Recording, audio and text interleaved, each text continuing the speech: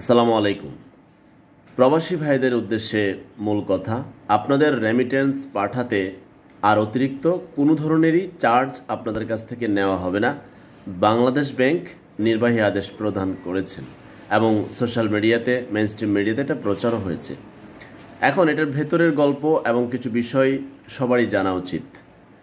দেখুন, প্রবাসী ভাইয়েরা অন্যান্য মাধ্যমে বৈধ, অবৈধ, অন্যান্য মাধ্যমে যে টাকা পাঠায়, তাদের সুবিধা কি?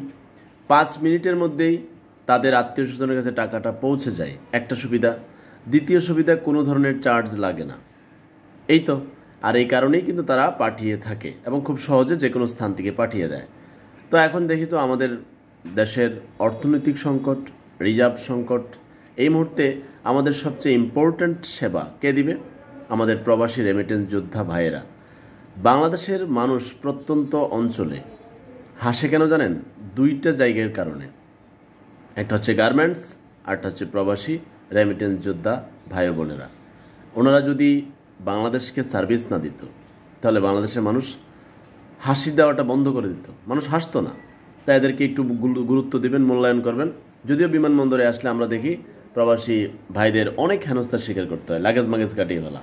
যাই হোক এ ব্যাপারে একটু সতর্ক হবেন, সিদ্ধান্ত নেবেন। এখনও প্রবাসী ভাইরা মারা গেলে তাদের লাশ আনতে আর অনেক গরিমসি অনেক সিস্টেম অনেক কিছু আমরা দেখি। এগুলোরও পরিবর্তন দরকার। বিপদে বললে তো ওই গার্মেন্টস আর আমাদের রেমিটেন্স ভাইয়েরাই তো ভরসা। এখনও তো আমরা সেটা টের পাচ্ছি। এখন মূল প্রসঙ্গে আসি। এখন বলা হচ্ছে, আপনি যে চার্জটা কাটবে না, তাহলে আপনি বিদেশ থেকে টাকাটা পাঠাবেন কীভাবে? নির্বাহী আদেশে যেটা হচ্ছে, আমরা জানি বিদেশে বাংলাদেশ ব্যাংকের বিভিন্ন ব্যাংকের শাখা আছে। ওই শাখাতে আপনাকে যেতে হবে, তারপর সেখান থেকে আপনার এক্সচেঞ্জে এই কাজটা করতে হবে। এখন আমার প্রশ্ন হলো যে, আপনি যে জায়গায় থাকেন, প্রবাসী ভাইয়েরা যে জায়গায় থাকে, তার পাশে যদি ব্যাংকটা না পায়, এখন আপনি ব্যাংকে, বাংলাদেশ ব্যাংকের কোনো শাখাতে গিয়ে বাংলাদেশ বিভিন্ন ব্যাংকের আপনি ডলারটা তো পাঠাতে হবে। এখন আপনার কাছ থেকে যদি আরও বিশ কিলোমিটার দূরে থাকে, তাহলে তো আপনি অনুৎসাহিত হবেন।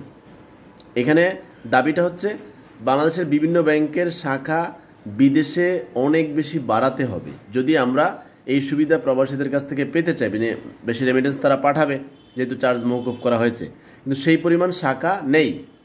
আমি একটা ভিডিওর কমেন্টে দেখলাম, আমি জানি না সত্য মিথ্যা, যে সৌদিতে বাংলাদেশের কোনো ব্যাংকেরই কোনো শাখা নাই। এখন তিনি প্রশ্ন রেখেছেন তাহলে আমরা কীভাবে টাকা পাঠাবো? এখন যদি তার তথ্য সঠিক হয়, তাহলে এই- বিষয়টা গুরুত্ব দিয়ে দেখতে হবে। দ্বিতীয়ত আরেকজন একটা ভিডিওতে কমেন্ট করেছে আমি কমেন্টটা পড়ে জানাই। তিনি বলছেন, ভাই, কাতার থেকে টাকা পাঠাতে এখনও পনেরো রিয়াল কাটে। তাহলে তিন দিন হয়ে গেল ঘটনাটা এখনও কেন কাটবে? প্রসেসিং কি কোথাও গ্যাপ আছে কি না ইতালি থেকে রিয়া মানি ট্রান্সফারে সাত ইউরি চার্জ নেয়। এখন এই যে বিষয়গুলো, এখন প্রবাসীদের মধ্যে একটা মানে ঝামেলা চলতেছে, তাহলে আমরা পাঠাবো, আমাদের তো নির্দিষ্ট শাখা আমার কাছে, বাংলাদেশ ব্যাংকের কোনো শাখাও নাই। তাহলে আমি কোন জায়গায় যাব, কত দূরে যাব, কীভাবে যাব, এই বিষয়টা আরেকটু গুরুত্ব দিয়ে দেখতে হবে। এখন আপনি বলবেন যে, ভাই, আপনি কার পক্ষ হয়ে কথা বলছেন? নো পলিটিক্স আপনারা বড় দুইটা রাজনৈতিক দলের একটা ভাগ আছে, এই দল, ওই দল। এছাড়া যে সাধারণ মানুষ আছে, যারা পলিটিক্স করে না, সুখে শান্তিতে বাঁচতে চাই, তাদের জন্য আমি কথা বলি। দেশ যখন সংকটে পড়ে যাবে, বিপদে পড়ে যাবে, তখন আপনি রাজনীতি করবেন কি নিয়ে ভাই? রাজনীতি করলে তো দেশটা আগে ঠিক থাকতে হবে। এখন রেমিটেন্স যদি প্রবাসীরা না পাঠায় এবং যদি রিজার্ভ সম্পূর্ণ না থাকে, আমদানি নির্ভর পণ্য তো আমরা আনতে পারব না, আমাদের এলসিতে ব্যর্থতা হবে, তখন আমাদের কি হবে? সব মানুষ সংকটে পড়ে যাব, শিশুরা বিপদে পড়ে যাবে। শিশু যারা আছে, তাদের খাদ্য তো অনেক কিছু আমদানি নির্ভর। এখন ওই শিশুগুলো কি দুই রাজনৈতিক দলের পরিবারের শিশু নাকি সাধারণ মানুষের বাচ্চারাও আছে? আম- আমাদেরকে ভাবতে হবে সেটা।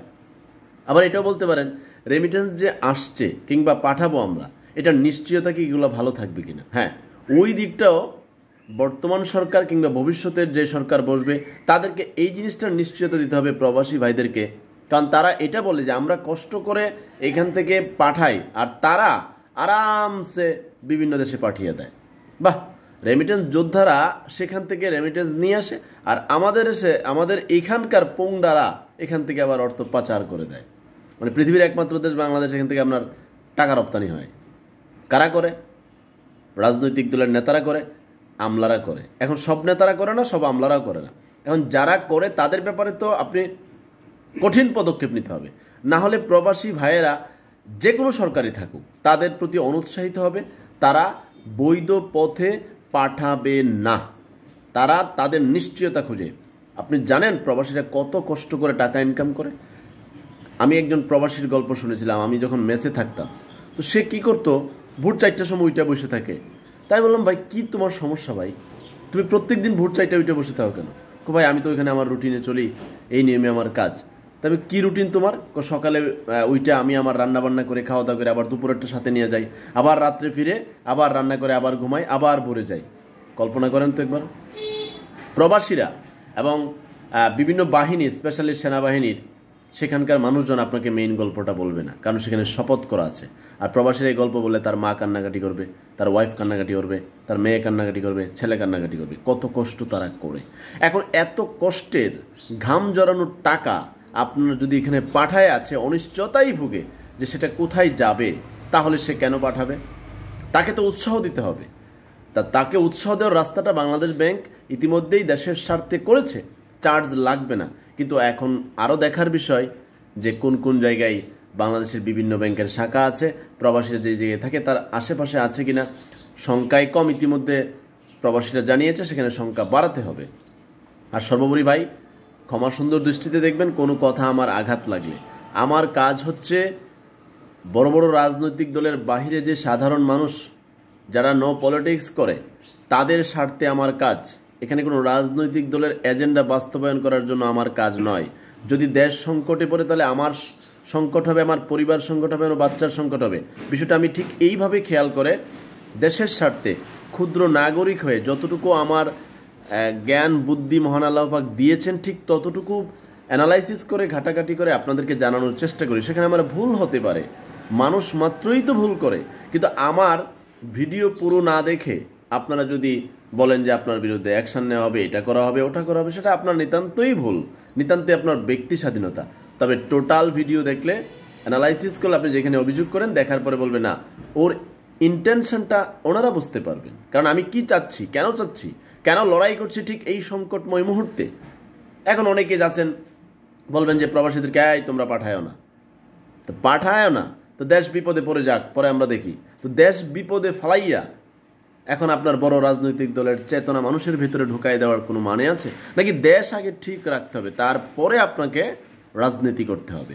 আমি মনে করি দেশ ঠিক করে, দেশের জায়গা ঠিক করে, অর্থনৈতিক জায়গা ঠিক করে, তারপর রাজনীতি করা উচিত। আর রাজনৈতিক দলদের উদ্দেশ্যে বলব, যারা এখন আছেন, ভবিষ্যতে যারা থাকবেন, যারাই থাকেন, আমি যেহেতু পলিটিক্স করি না, তাদের প্রতি অনুরোধ থাকবে, দেশের স্বার্থে আপনারা সঠিক সিদ্ধান্ত নিয়ে দেশের মানুষের মঙ্গলের চিন্তা করে কাজ করবেন, নিজেদের পকেট ভারী করার জন্য কেউ রাজনীতি করবেন না। তাহলে আপনারও মঙ্গল উপর থেকে করবে না। সবাই ভালো থাকবেন। আল্লাহ হাফেজ। আসসালামু আলাইকুম।